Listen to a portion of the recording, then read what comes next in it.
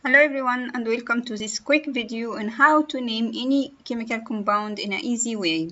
Of course you need to learn in organic chemistry how to name chemical compounds but sometimes you have those questions that you cannot answer or you cannot identify the name of the compound and you just want to make sure after you uh, you have named them according to IUPAC, there is an easy way to make sure of your answer.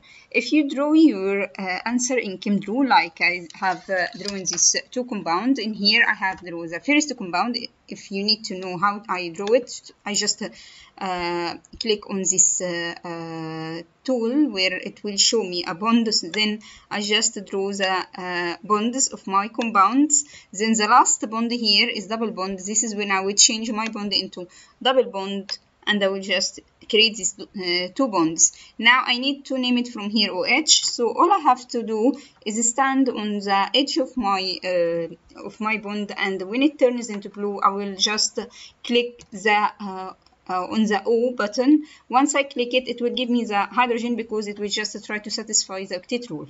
Now I have this compound. I can either right click and clean my compound. This is when my compound will uh, when I clean my compound from molecule uh, clean up structure. It will clean the structure in a way that it's similar to that one a little bit organized. Now if I need to name my structure all I have to do is just drag uh, right click on my structure. Once I select my structure either using this tool or just drag uh, drag while I'm holding the uh, right click I can go then to the structure. Then now it will convert I have these two icons convert name to structure or convert the structure to name. In here I have a structure so I need to convert it into name. All I have to just click and they'll give me here the name of, the name of my compound. You could see that it named here my compound buta 3 in because I have this double bond then I have one ol because I have the uh, hydroxyl group on the first carbon atom.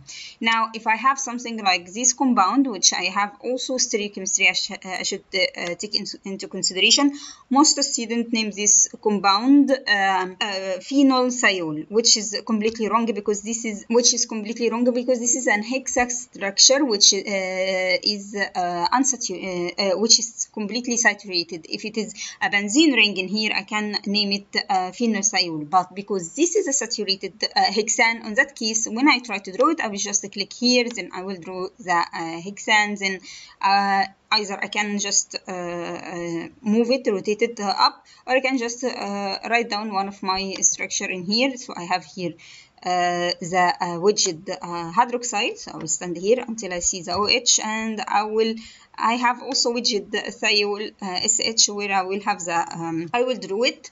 Then after that I will just write the S and I will write down the thiol now I need to um, name my compound. I select my compound. In that case I will select this one.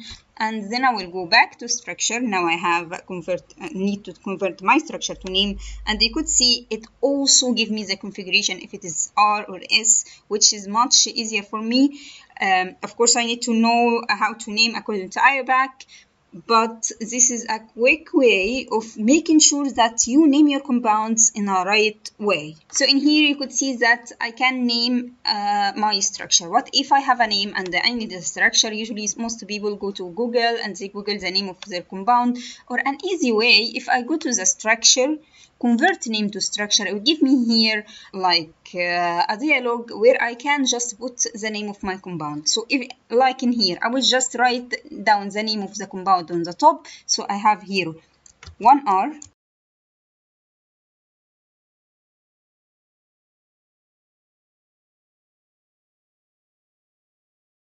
now if I click OK it will just draw my structure so you could see it's the same structure, uh, different position, but it's the same way uh, numbering. So here in 1, 2, and here is 1, 2 as well.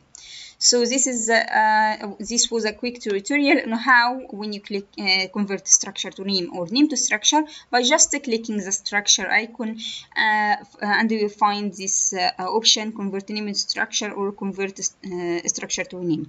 I'll provide a link in the description of the video. I'll provide a link on the description of the video for the site that you can download the, the ChemDraw from and it's for free uh, it's like uh, for free and you can just download it uh, if you like it their page and it's nice but you need to know one thing. This is a ChemDraw Ultra. This is where I have this uh, this structure uh, tab which give me this option on naming my structure.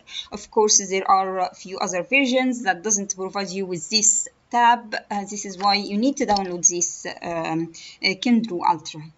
Thank you and goodbye